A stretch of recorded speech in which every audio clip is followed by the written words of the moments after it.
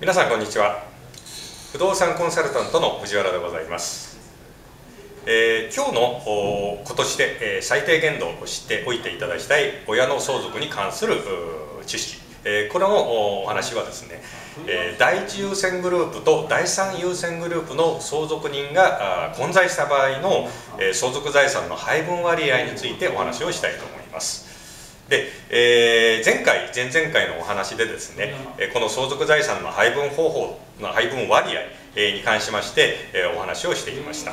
えーちょっと復習しますとですね、えーまず第一優先グループの間のお相続の場合、えーまあえー今回の場合、えーまあ、仮に父親が、まあ、亡くなったというケースの場合は、えー第一優先グループの中、えー第一優先グループは子供と配偶者だったんですねで、えーこの中で、えー相続が完結する場合は、えー配偶者が2分の1、えーそして子どもグループが全部で2分の1というお話をいたしました。で、えー子どものみが相続人の場合は、えー父親の財産は全部子どもに相続されるというお話もいたしました。で逆に子どもがいずにですね、えー子どもがいなくて子なし子供がない子供がいなくて配偶者のみという場合はそこで初めて第二優先グループが登場してくるという話をしましたね。第二優先グループ配偶者のみの場合は第二優先グループが登場いたします。で、えーこのケースの場合は、えー配偶者が3分の2、えー第二優先グループ全員で3分の1というお話をいたしました。で今日はですね、えー第二優先グループもいないというケースについてお話をします。ここがいないということですね。両親なし。両親なし。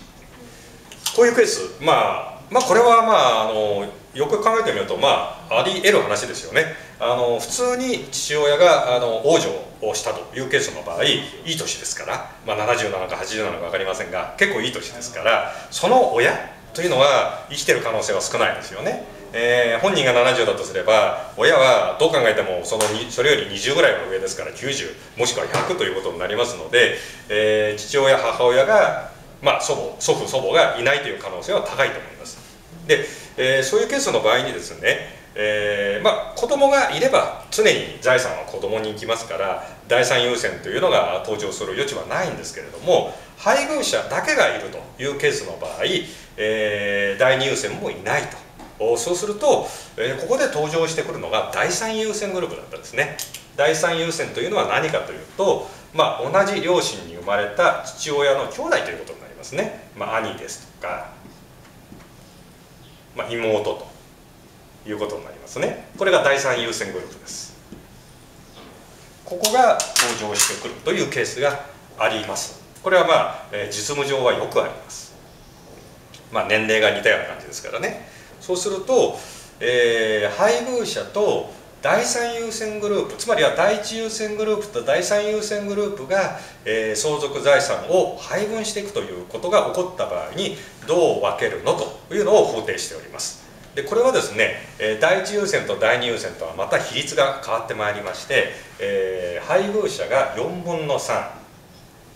それで、えー父親の、まあ、兄弟姉妹。これが合計で4分の1という配分割合を、えー民法は決めております。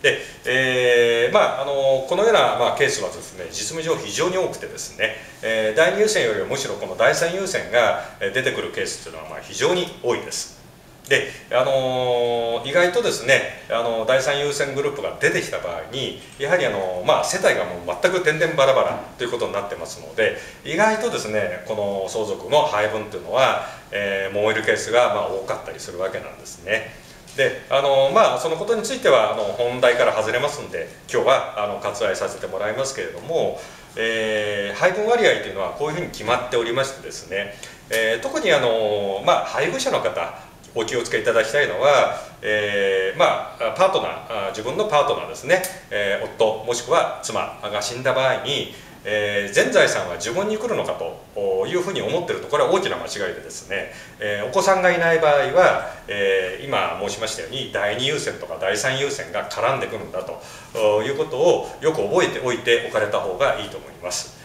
で特にですね、えー、まあ、この兄弟姉妹が絡む場合、え4分の1は権利があるんだよということを法律が決めておりますからやはりあの相続財産の全体の4分の1を配当してほしいということは必ず言われますこれは必ず言われると思った方がいいですね。えー、あのー、というのが、あのー、まあ、この兄弟姉妹から見ればですね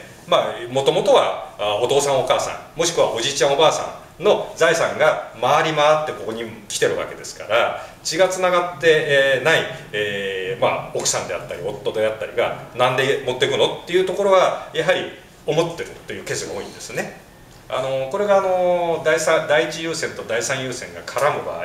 結構やはりあの、まあ、複雑というかあの揉めるケースがあの多くなってまいりますので、えー、まあ、こういうようなあの相続財産の配分というのはこれはもう法律が決めちゃってるというところをよく理解していただきたいと思います。今日はですね第一優先グループと第三優先グループが混在する場合の相続財産の配分割合について解説させていただきました。では次回もまたお楽しみに。